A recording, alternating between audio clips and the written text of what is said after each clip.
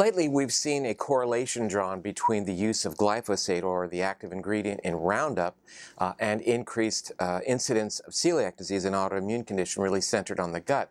And while correlation does not mean causation, meaning we can't necessarily say that glyphosate is the cause of that. What we do understand about glyphosate, or Roundup, the active ingredient, is that it changes the microbiome. It changes the gut bacteria.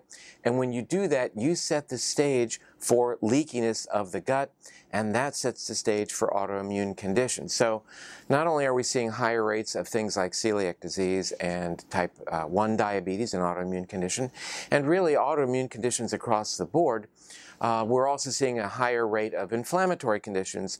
Uh, is it all necessarily from the increased usage of glyphosate because of genetically modified foods?